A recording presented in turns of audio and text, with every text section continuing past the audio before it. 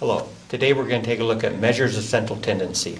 And more importantly, we're going to take a look at how it can be misused, for example, when, re when reporting average income in the United States, or how we can get possibly poor information when looking at life expectancies, which would be very important if we are looking at helping somebody with retirement uh, planning. So let's first of all review what we mean by measures of central tendency. Now, here I have a group of numbers here. There's seven values there. The mean would be what most people think of when they hear the word average. The mean would just be adding up those values and then dividing by how many we have. So eh, for this set of data, the mean is 63. Now, the median is after we have arranged the numbers from smallest to largest, the median is just simply the number in the middle. So for the same set of values, the median is 55. The mode, if we have one, the mode is just simply the number that is occurring most often. So in this case, the mode is 50. Now, all of these are just a different way to measure what we call the measures of central tendency. However, any of them can actually be used to represent the average. And a lot of times when we get information, we really don't know which of these they are using. Okay? And we're going to take a look at some good examples here uh, in, on the following pages. Now, notice here we had an odd number of values. In that case, if there's an odd number, there will always be a value that is directly in the middle. So just a quick example here. Sometimes we could have an even number of values. If that is the case and we're looking for the median, again, after we have arranged the values from smallest to largest, notice there's not an actual single value in the middle. So the median then is defined to be the mean of the two in the middle. So we would find the two that is center and take their mean. And of course, that would be 60. So you can see that all of these values are not necessarily the same. However, any of them can be picked to represent the center or average. Now, when we have a nice symmetrical normal curve, which most things really don't fit a perfect, what we might think of as a bell curve. But if something does, for example, like IQ, um, maybe the height of American males or the height of American females in a, in a in the United States, okay, that's going to fit a nice symmetrical bell curve. If that is the case, the mean, the median, and the mode will all be the same. So it really wouldn't matter which one we choose. However, most things don't fit a perfect symmetrical bell curve. Most things are skewed. So this is a right skewed distribution. Think of taking, let's say, this tail and stretching it that way to the right. Okay, when that is the case, and this is the case, for example, income in the United States. Notice we have most of the people here, and then we have some people over here a smaller number of people that are making a much higher income. So when that happens, of course, the mode, remember, is the number that appears most often. So of course, it's going to be here. The median is pulled up slightly, but the mean is very sensitive to what we might call outliers.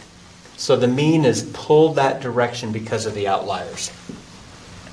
Now, we can have a situation like this and this is a situation that uh, resembles more of life expectancies, and we'll, which we'll look at here in just a moment.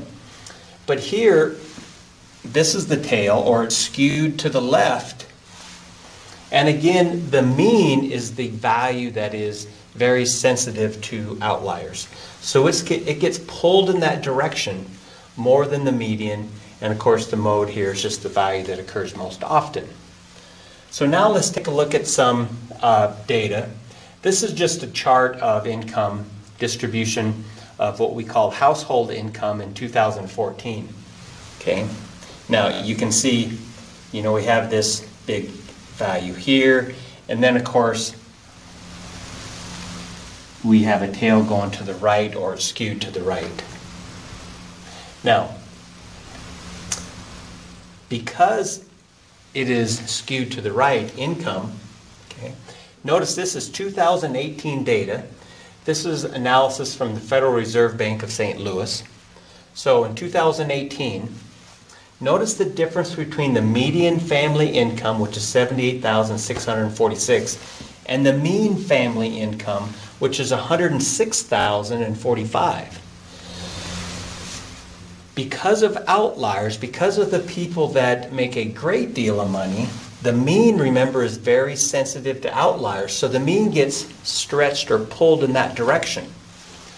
Now, both of these can be reported as the average income. In fact, when we are talking about income, when we hear income in the news, typically they are always quoting the median because the mean is very sensitive to those outliers, and when we have those outliers, okay, it's really difficult. This isn't the best representation. At least if they know, report the median, at least we know that half of the people are making less than that, half of the people are making more than that, because that's the number in the middle. Okay. However, if they just use the word average income, we have to be very careful because you really don't know which one of these they use. Remember, when most people hear the word average, they typically in their mind think that you're talking about the mean. But if we're talking about income, typically they are always reporting the median. Two very different values. Also, if we were talking about average income in the United States, again, most people just hear the word average, they just hear the word income it can be very misleading because I don't know whether they use family income. And notice here, it's very different whether I choose median or mean. Listen for definitions. They could have used personal income, which is, notice, only 33,706, uh, median or mean. Or they could have used median household income. Okay, so when we hear the word average income, you really don't know whether they use the mean, the median, personal income, household income, family income. Okay, so you can see where we can really be pretty misleading and still quote or state a statement that is correct. Okay? Actually, if I used average income in the United States, I could actually report any of these values and my statement would actually be correct. So you want to be very careful when you're getting information. Know whether they're using the mean or the median, and then how they're defining their terms. And of course, this is very similar to uh, when we're looking at research articles or any data. Okay, we want to make sure are they use the mean or the median? Why did they choose those? Are there outliers? And how are they defining their terms?